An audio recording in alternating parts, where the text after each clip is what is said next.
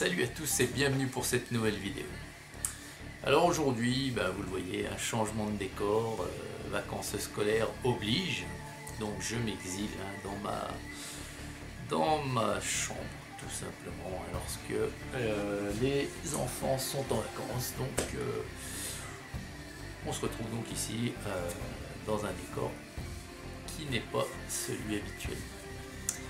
Alors aujourd'hui on va parler de figurines pour redémarrer euh, en douceur euh, après Noël. On va redémarrer un petit peu les vidéos tranquillement. Et aujourd'hui, je vais vous parler. Alors, désolé aussi pour le bruit que vous entendez, c'est mon imprimante 3D. Et là, euh, c'est nouveau heureux, il n'y en a qu'une, puisque la seconde est en maintenance actuellement. ça fait un petit peu de bruit, veuillez m'en excuser. Alors donc, aujourd'hui, je vous ai dit on allait parler figurines. Et aujourd'hui je vais vous montrer trois figurines que j'ai peint euh, pas plus tard qu'hier.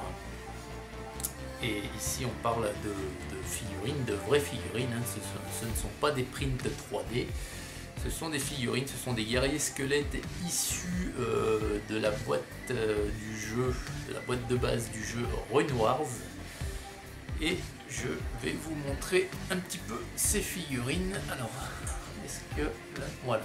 Euh, pas sûr. Il faut qu'il me fasse la mise au point. Voilà. Donc les voici. Donc, le... Non, ça va pas. Je vais essayer de me sortir... Euh, là, je pense que c'est bon. Là. Donc voilà le premier.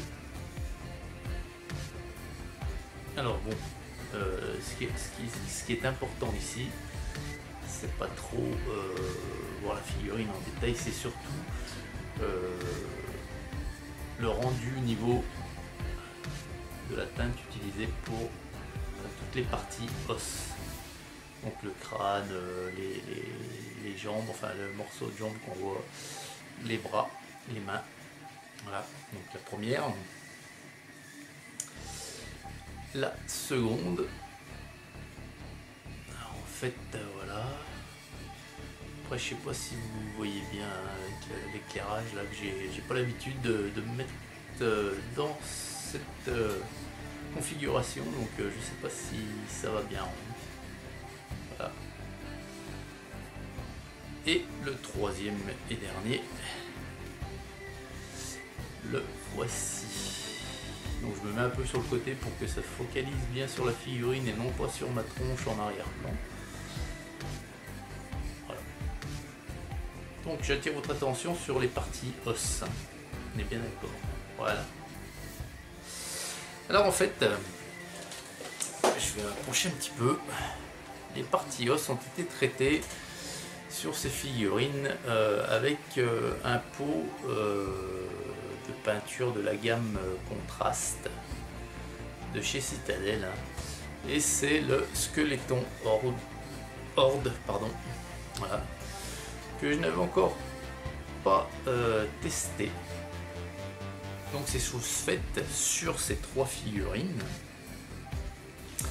Alors, je m'avance encore un peu. Donc ici, euh, je vais en prendre qu'une parce que donc ici, euh, on est bien d'accord, il n'y a qu'un seul passage euh, de, cette, euh, de cette teinte.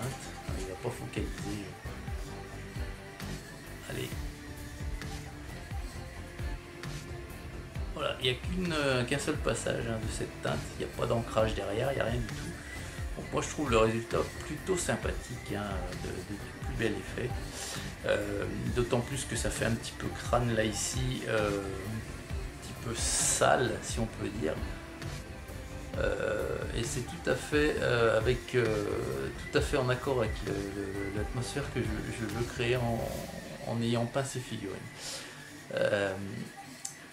Donc par contre, à bien, à bien savoir et à ne pas oublier d'appliquer ces, teintes de, cette gamme contraste sur une sous-couche blanche. Hein. Attention, hein, de ne pas euh, appliquer euh, ces peintures sur une sous-couche euh, noire ou grise, ça ne donnera pas du tout, ça ne donnera rien, rien de bon quoi qu'il arrive. Donc voilà. Alors, à savoir que ces figurines, donc comme vous pouvez le voir, les, les, socles ne sont pas travaillés. pourquoi? Parce qu'il y a une raison à tout ça. Hein. Donc la petite vidéo ici, c'est pour vous montrer bien sûr les trois figurines. Hein. Pour vous parler de la teinte euh, Skeleton Horde de la gamme Contraste de chez Citadel, mais aussi pour vous dire que, donc vous avez vu, je me répète, les socles ne sont pas travaillés. Pourquoi? Parce que je vais incorporer ces figurines dans un diorama que je vais commencer euh, incessamment sous peu et que je ferai vivre euh, sur la chaîne pour vous montrer l'avancée du duo, vous expliquer un petit peu comment on fait tel ou tel décor, euh, euh, les teintes, les peintures utilisées. Euh, enfin, je vais essayer de, faire vivre ça du mieux possible et dans la mesure du possible. Il y a beaucoup de répétitions dans ce que je dis. Dans la mesure du possible, vous expliquer vraiment pas à pas les actions que, j'entreprends pour la réalisation de ce duo. Voilà, j'en ai assez dit. Euh, bah écoutez, c'est un petit peu l'introduction hein, à, la future euh, vague de vidéos qui arrivera à propos de ce diorama. Voilà, et bien écoutez, je vous souhaite de continuer à passer d'excellentes fêtes hein, en famille. Euh, puis je vous dis à très très vite pour la suite. Salut